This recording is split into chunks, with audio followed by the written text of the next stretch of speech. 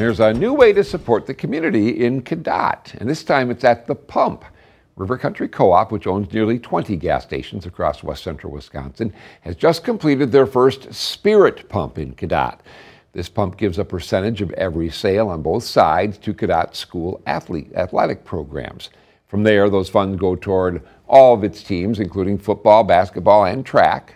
As much as one-time donations are great, we like to do something different. We wanted to try something where everyone could be involved in helping the community and um, not only community members can be involved in helping with the spirit pump, but also the people traveling on Highway 29 can also help out the community that they're passing through.